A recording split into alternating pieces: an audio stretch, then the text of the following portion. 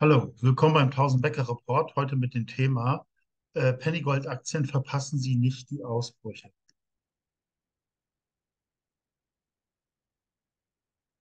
Disclaimer.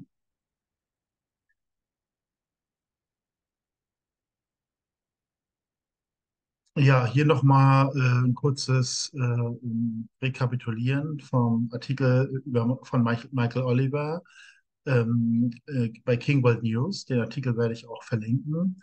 Und äh, so sinngemäß sagen, die historische Aufstellung in Gold. Also der Goldmarkt ist dabei, Geschichte zu schreiben. In den letzten 50 Jahren hat Gold drei große Aufwärtstrend hervorgebracht. Äh, und äh, wir befinden sich jetzt in seinem vierten. Wir sind uns darüber im Klaren, dass die Goldbullen in den letzten Jahren aufgegeben haben, die Goldbären, das äh, ähm, Gespräch und die Chartberichte dominiert haben. Tatsächlich ist, wie auch äh, manche Kommentare bei mir im YouTube-Kanal, äh, das ist ein ganz klassisches Zeichen, dass wir den ähm, Boden erreicht, erreicht haben. Tatsache ist, wenn Gold seinen Höhepunkt erreicht haben, erreicht es äh, äh, erreicht es eben seinen Höhepunkt. Das ist seine Geschichte. Wenn Gold einen Höchststand äh, erreicht hat, bricht es von seinen übertriebenen Hoch. Wie gesagt, das ist eine Compu schnelle Computer-Translate-Übersetzung. Ähm, der Sinn ist einfach, wenn Gold jetzt seinen Peak erreicht, dann gibt es einfach erstmal äh, fast eine, äh, eine, eine lange Seitwärtsbewegung, Abwärtsbewegung und man muss eigentlich raus sein. So funktionieren diese Märkte einfach. Der äh, Markt äh, baut jahrelang an diesen äh, an der Bodenbildung und dann bricht es eben aus. Und äh, für den Michael Oliver ist, äh, für den ist ganz wichtig dieses Dreifach-Top äh, sozusagen. Und das ist noch niemals runtergegangen sozusagen. Also das deutet einen Mega-Ausbruch an und er meint eben, das ist sozusagen dieser vierte große Goldbullenmarkt äh, seit äh, 1971 sozusagen. Warten wir ab. Das würde, und er ist ja auch in der These eher, das würde dafür sprechen, dass wir, sage ich mal, im, im, nächsten guten Jahr oder zwei Jahren äh, den Anstieg tatsächlich auf 8.500 Dollar geht. Das unterschreibe ich noch nicht ganz. Äh, wir bleiben bei den allgemeinen Statisten, aber die mögen zu negativ sein. Der Michael Oliver hat jedenfalls nach eigenen Aussagen in seinen Videos auch gesagt, dass er 1980 das Top exakt vorhergesagt hat. Also ähm, da würde ich schon einiges Gewicht drauf legen und äh, ich kann mir das auch vorstellen aber wir wissen es natürlich nicht, wir haben keine Glaskugel. Jedenfalls dieses Dreifach-Top hier nach oben, äh, das ist kein Zeichen, dass das ein Abverkauf ist, wie auch manche ähm, andere Kommentatoren, YouTube, ähm, äh, Leute aus dem Finanzbereich auch sagen, dass jetzt hier nur Silber auf 16 geht und Gold nochmal abstürzt und so. Das widerspricht den Charts total und auch der fundamentalen Namen. Nein, das bedeutet ein Mega-Anstieg vor. Also wenn wir Glück haben, gibt es sogar in den nächsten ein bis zwei Jahren vielleicht 8.500 Gold, aber zumindest irgendwo jetzt der Anstieg auf 2.400, 2.500 als nächste Stufe läuft und Silber natürlich 40 bis 50 Dollar. Das äh, erwarten wir. Ja, ich möchte einfach nochmal aufzeigen, dass eben viele Aktien trotz immer noch schlechter Stimmung einfach den Boden gefunden haben und dabei sind, äh, neue Hochs zu generieren. Also ich denke, das könnte so eine Aktie sein. Das ist ein Projektgenerator, die haben sehr gutes Management aus äh, Quebec. Äh, sie haben sehr viele hohe, gute, interessante Gebiete, auch eine sehr große äh, Menge, 7900 Hektar und viele andere Projekte. Und Sie sehen auch, wenn Sie äh, sich mal eine hier, das ist Langfristchart, wenn Sie sich einfach mal eine Tangente von hier hochziehen, Sie sehen, dass es einfach hier ständig aufgeht äh, aufwärts gehen. Und das heißt für mich eigentlich, dass hier unmittelbar die Eruptionsladung äh, bevorsteht, äh, die dann sozusagen auch ein neues Alternbruch meines aus meiner Sicht generieren könnte. Deswegen zeige ich Ihnen das, das ist meine Meinung. Das ist vielleicht eine ganz interessante Situation. Wie gesagt, äh, das Management äh, ist von hoher Qualität. Das Gebiet hier zwischen Ontario und Quebec ist auch 1A. Wie immer natürlich sind das trotzdem Gamble-Aktien, auch da kann alles passieren.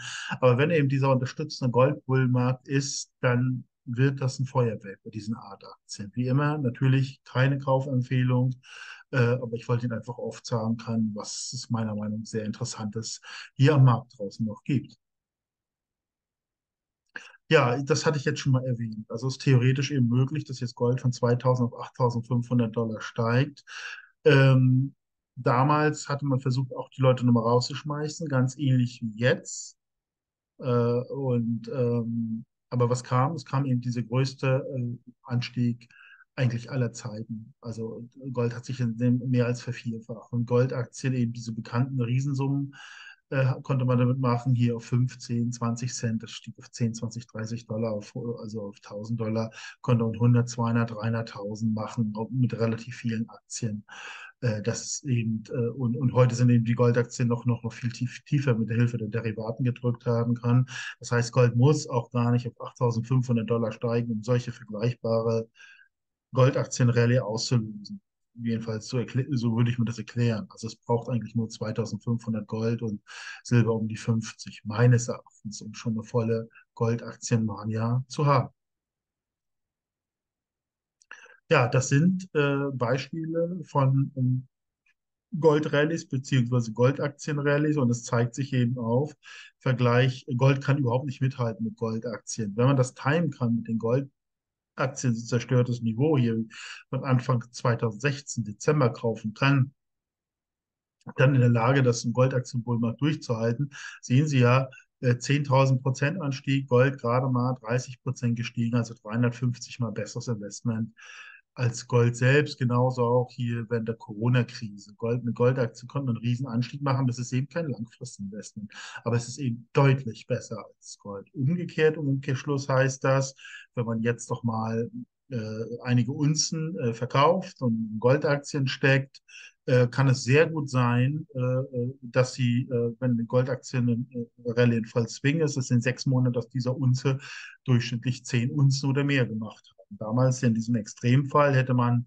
eine Unze Gold am Tief investiert und dann die Goldaktien verkauft, also dafür Goldaktien gekauft, hätte man sage und schreibe 79 Unzen, Extremfall. Aber äh, in jedem Fall sollte man sein Unzen-Investment, das können Sie sich ja sozusagen denken, was Sie drin haben, für fünf, für zehn, vielleicht für 20-fachen aus meiner Sicht. Jedenfalls beweisen das diese Art Rallyes.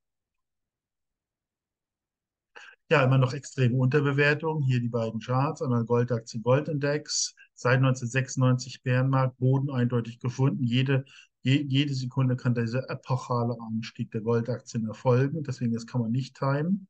Deswegen ist die Chance groß und nehmt auch hier das Bewertungsgap zwischen Senior- und Junior-Goldaktien. Auch das kann geschlossen werden. Hier wie zum Beispiel im Jahr 2002, 2003. Und wenn die sich dann treffen, dann sind Goldaktien auch erstmal relativ uninteressant, denn das ist große Geld gemacht worden.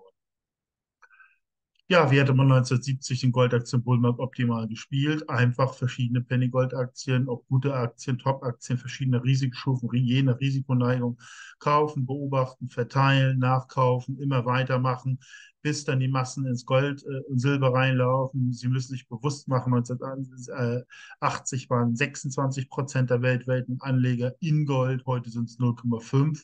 Also da ist noch ein bisschen Stück, äh, bis es hochgeht. Das kann man auch nicht timen. Kurzfristig, hatte ich ja gesagt, stehen wir auf 2,4, 2,5 und das führt zu einer Goldaktienrallye.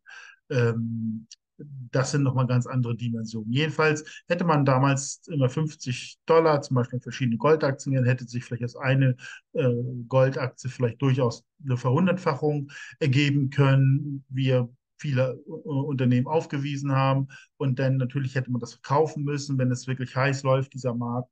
Und dann einfach die äh, Assetklasse wechseln, zum Beispiel Berkshire Hathaway, wäre gut gewesen, weil eben dieser Goldboom, äh, der hat im Grunde genommen die Basis auch dann gelegt für einen inflationsfreien Wachstumsboom bei Aktien. Also das hängt zusammen. Also jetzt, also damals wäre es richtig gewesen, von der Dynamik im Goldsektor zu profitieren und dann natürlich Top-Werte zu kaufen und die nächsten 20 Jahre einfach klassisch zu investieren. 50 Dollar 1978 investiert, hätten 99, 1999 eine Million gebracht. In dem Beispiel. Ja, Ereignis 2, Ereignis 3. Irgendwann, wenn die Goldaktien steigen, es wird Begehrlichkeiten äh, wechseln. Also es, das Risiko steigt mit dem Anstieg der Goldaktien ohne Zweifel. Ähm, Politiker aus den äh, Ländern, wo, wo die Minen ma machen, könnten Probleme machen, Verstaatlichung, Extrasteuern. Aber auch unser eigenes äh, Bankensystem ist zunehmend gerät in Schieflage. Kann vielleicht nur noch mit Mühe oder beziehungsweise viel Geld drucken etc. aufrechterhalten werden. Auch da drohen systemische Risiken. Und wir müssen einfach zusehen, dass, äh, weil wir glauben, Goldwechselanstieg relativ schnell äh, läuft, die in sechs bis acht Monaten, dass sofort einfach raus aus dem System sind. Einfach nur, um es nur mal sicher zu gehen. Das ist keineswegs eine Aussage, dass es so kommen muss. Äh, aber weil wir eben keine Kristallkugel äh, warten, sind wir eher da ein bisschen übervorsichtig. Ja, Fazit. Das hatte ich auch schon gesagt. Man muss eigentlich die Dynamik, äh, ähm, also, ähm, die, die, also mit, mit anhand der Inflation profitieren, zum Beispiel ein Anstieg von Goldaktien, Penny-Gold-Aktien und dann, wenn dieser Boom vorbei ist, reinvestieren in Top-Standard-Aktien. Das ist eigentlich alles. Also das heißt, man verteilt sein Geld, investiert in verschiedene Goldaktien, sie extrem billig ist, dann kommt dieser moderate Anstieg auf 2500, viele Goldaktien steigen 10, 20, 30, 50-fache, ähm, sie haben eine gute Gewinner dabei, äh, dann verkaufen sie das, äh, wenn, wenn da in, in, sechs Monaten, sieben, acht Monaten, äh, dann wird das reinvestiert, zum Beispiel noch mehr Gold und Silber kaufen, die dann langfristig auch noch um das Vierfache um Kaufkraft steigen könnten. Und wenn, der, wenn das dann passiert ist, diese Maximalwerten, 8000 Dollar heutige Kaufkraft für Gold, Silber 300 Dollar, dann wissen Sie, das ist ein Verkaufszeichen. Dann einfach klassisch wieder investieren, was auch immer vom Aktienmarkt übrig geblieben, Topfonds, Einkommen generierenden Assets überhaupt. Jedenfalls würden dann diese diese 200 Dollar auf, auf Sinn vielleicht von circa 15 Jahren, wenn man anhalt dieser, wenn man diesen Assetklassenwechsel vollzogen hätte jeweils, äh, würde man theoretisch eine Million äh, Dollar heutige Kaufkraft generieren. Äh, und das von dem Hintergrund, dass sie ja theoretisch jeden, jede Woche ein oder zwei ähm, Ereignisketten aufsetzen können. Und einige werden schon dabei sein, die dann ganz gut profitieren, einige mittel, vielleicht auch einige nicht wer weiß, aber äh, so setzen sie sich gegen äh, vielerlei Risiko eigentlich, ähm, gegen das Risiko ist es eigentlich die richtige Strategie, einfach viele Möglichkeiten ähm, zulassen, die sich ergeben können. Ja, wir versuchen diese Aktien zu identifizieren, äh, nach hohen, moderaten, sehr hohen Risiko zu öffnen, äh, zu, zu ähm, berechnen, das Ganze, Potenzialfaktor, wenn möglich ist. Im Portfoliovorschlag äh, kann ich ähm, auf Sie zustimmen, kann ich bei Interesse auch anfertigen. Ähm, finden Sie einfach da die Informationen unten im YouTube-Kanal. Ähm, ja, Gold und Silber, Einla äh, Einkaufsgemeinschaft für Sachwerte. Das Unternehmen zu jeder Zeit an Gold und Silber einfach überweisen, schon ist ein Zoll Freilage in der Schweiz eingeladen, genauso leicht ist der Verkauf und es gibt keine Mindestinvestitionssumme. Äh, vielleicht in, in, einer gewissen Situation interessant für Sie. Ja, Broker, nur als Beispiel, FlatEx Giro könnte man in Deutschland handeln, da kann man auch im Toronto Stack Exchange und der Heimatbörse handeln. Swissquote ist halt ein Schweizer Broker, aber den können Sie also auch nicht mit nicht Schweiz sitzend Depot äh, dort an, äh, anlegen. Ja, ganz herzlichen Dank für die Aufmerksamkeit. Würde Sie bitten, meinen Kanal zu abonnieren, wenn Ihnen der Inhalt weitergefallen hat. Vielleicht auch ein Like geben. Das würde dem YouTube-Algorithmus auf die Sprünge helfen. Besten Dank äh, und bis zum nächsten Mal.